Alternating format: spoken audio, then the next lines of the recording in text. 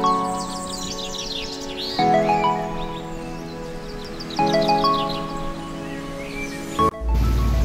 Plant Kids! Nandito po tayo sa susunod na episode at tayo po ay mag-aquascape ng mga aquarium natin.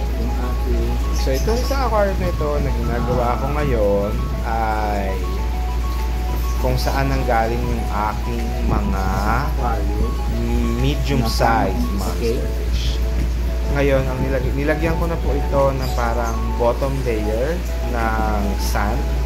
Yan po ay gamit na na sand para po makapagtanim tayo ng Ah, ayos at yung magandang. So mataba na po yung sand na mataba yan. dahil lang po sa maraming ano, maraming herbs. Ngayon po ay papatungan natin ng Fertilized soil yan. Tapos magtatanim po tayo ng mga halaman. Tapos, lalagyan natin Ah, ating po na- natin ngayon dyan na- ng mga halaman Tawag yung mga pinatubo na natin yung from our aquatic plants propagation. Tapos, ah, lalagyan po natin ng ah, white. Hindi ko pa alam kung white sand ang gagamitin. na ah, pebble. soil. Ah, ang iniisip Ah, ko, ang gagamitin Pero parang natin ay yung ano, ang mga yung lava rock. lava rock. Um, tataliwan Round muna natin lava siya rock. Kasi bago natin ko in my past, ano, escape.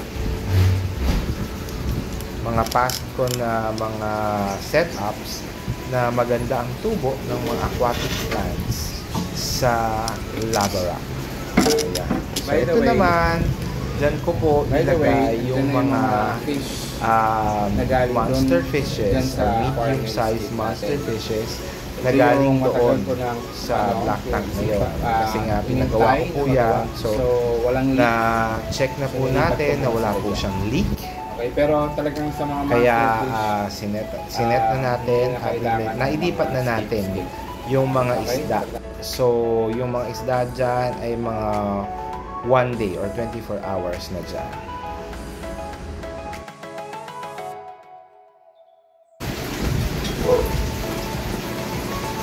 So, ito yung isang plant, yung Amazon sword na plano kong itanim dito.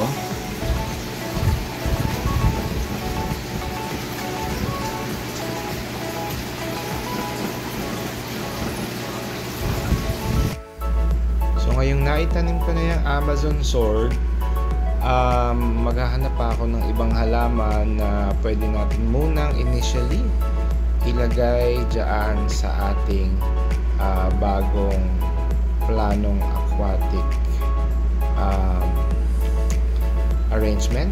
At dyan po napili ko yung Bacopa Monieri. Um, dati ko na po yung halaman. Actually galing yan dun sa, sa isang aquarium na pinanggalingan ng mga lava rocks. So, ikinabit na natin dyan or itinanim na natin dyan. And, ayan, nilalagay ko na rin yung isang lava rock ko na medyo malaki. At yan ang ating magiging um, focal point, yung gitna. Kaya dyan ko nilagay yung lava rock. And then, there's a smaller one na inilalagay ko ngayon dyan and then may mga maliliit din akong halaman na dinadagdag yan pa yung mga ano mga lumutang dun sa tubig na tinatanim ko na rin ngayon dyan muna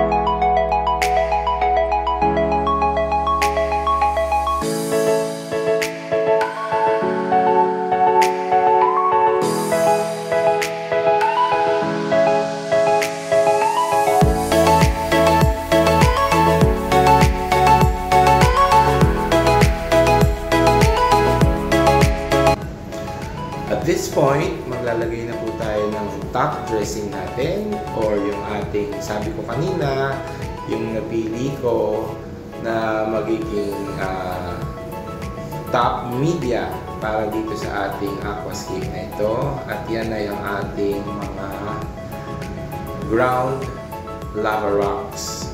Ngayon yung ground lava rocks na yan, may halo-halo na yan kasi kakagawa ako ng mga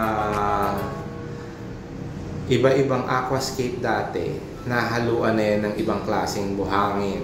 Pero okay lang din naman kasi as uh, all throughout the process, nagkakaroon na ng nutrients yung ating mga soil media. So ayan, ang una kong nilalagyan ay yung paligid kasi uh, finocus ko nga sa gitna yung unang sand na nailagay na natin, yung dark sand na nilagay natin. Ngayon, uh, kinakalat ko na yung lava rocks dyan para hindi makita yung unang sand na nilagay natin. So, we are now at the point na ayan, papatungan ko na yung black sand or yung medyo, how will I call it? Siguro maduming sand na lang na na nilagay natin na bottom soil mix kumbaga para dun sa plants. And ngayon, yan nga, ilalagyan pa natin ng mga rock sa paligid hanggang makumpleto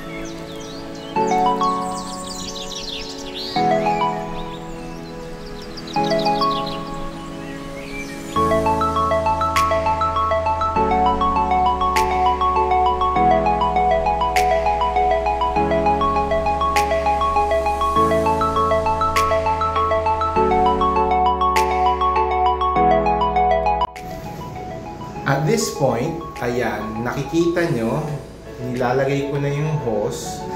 Naglagay po ako ng tabo at uh, meron akong nilagay na plastic dyan, isang layer, para pagbukas ng tubig, hindi maging malabo ang uh, tubig natin or hindi niya magulo ang sand. Kasi kahit papano may dumi pa rin yung sun na yan para hindi masyadong malabo pag nagsimula tayo mag-filling ng tank. So makikita nyo ngayon mamaya-maya pag binuksan ko na yung hose o yung water supply lalabas na yung tubig dyan at magsisimula na tayo mag-fill up ng water.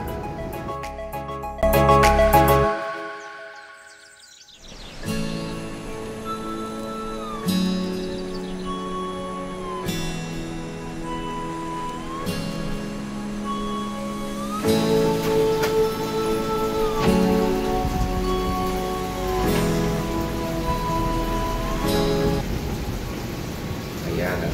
Makikita nyo ngayon, lumalabas na po yung tubig at nakikita nyo bumabagsak sa dun sa plastic. Yan ang nagpe-predict ng pagka-cloudy ng water kasi hindi masyado nagugulo yung tubig. So makikita nyo, ayan, malinaw na yung tubig na umakyat at kinabit ko na po ang overhead pump at papaanda rin na natin yan para habang nagpupuno ay nag-e-aerate na yung tubig sa tank natin bago siya mapuno.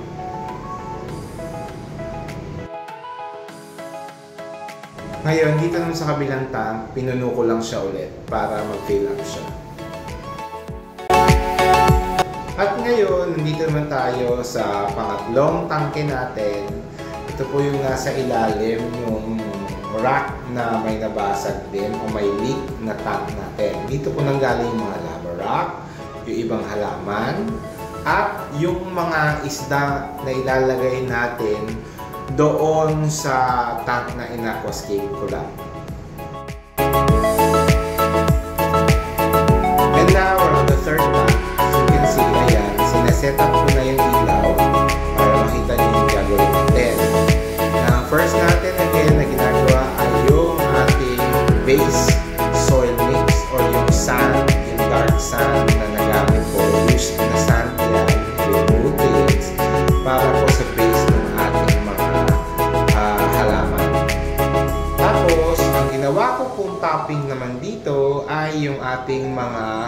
pebbles na galing naman doon sa isa pang tank na ginawa, na pinanggalingan o pinapagawa natin ngayon.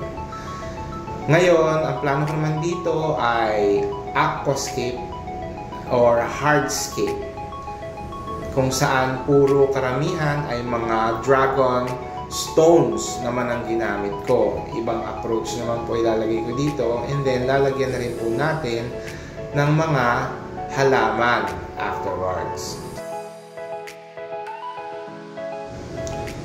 Katulad doon sa isang ah, tank na ginawa natin, ang una kong ikinabit or itinanim dyan ay isang um, Amazon sword.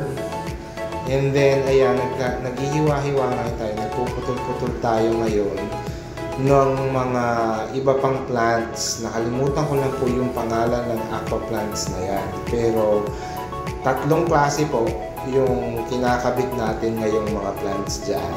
At isa po dyan yung Bacopa monieri din. At katulad ng una nating ginawa dun sa kabila, nilagyan ko muna ng plastic, and then nilagyan ko ng tabo para i-set up yung paglalagay ulit ng water. So, ayan na yung hose. Makikita nyo, ayan, nag-filling na kagad ng water. At makikita nyo, hindi po ganun kalabo again yung tubig kasi nga hindi nagagalaw yung lupa masyado habang nag-fill tayo ng water.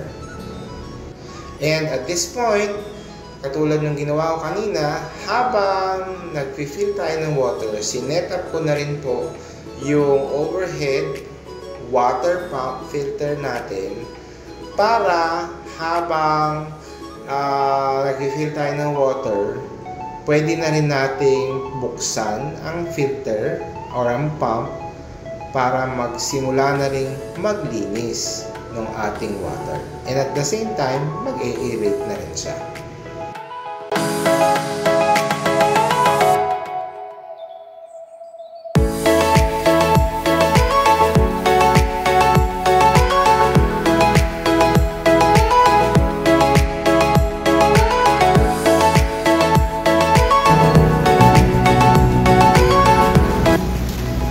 This point, since puno na siya at umaandar ng pump, konting linis sa salamin kasi meron actually yan watermarks. Ah, hopefully, matanggal siya eventually. Ayan na ngayon. Tapos, Ang isa pa nating aquascape. So, konti pa lang yung plants kasi konti pa lang. Pero da- magdadagdag na lang tayo. So, dito ko muna nilagay yung nag-aantay na aquarium. And then, ito na po. Yung, yan. So, yung isa nating na-scape na aquarium, medyo malabo pa. So, hindi ko pa nalilinis yung salamin. Pero, yan. May pwesto na ulit ang mollies natin. Nandyan na sila. And then, this is the second aquarium. Yung ating malaki aquarium, yung pinagawa natin, yung nag-crack yung ilalim. So, nandyan na yung mga mini monsters natin. And lastly, ito aquarium na to, ayan. So, dalawa na implanted natin. Ito at saka yung nandun sa molly. Yung mga isnang to, yung galing doon sa tangke ng molly ngayon. Ayan, so nandyan na sila. Ayan, so I will be ending this episode na here. Thank you very much for watching and I hope you enjoyed the video. Ah, sa susunod pong episode natin, ang ah, pagpapatuloy ng ating paggawa dito. Sana, sana nakabalik na kami galing hospital na. Maraming maraming salamat po sa pagnood. This is Plant Tatay Barry of Antipolo saying, Bye Plant Kids!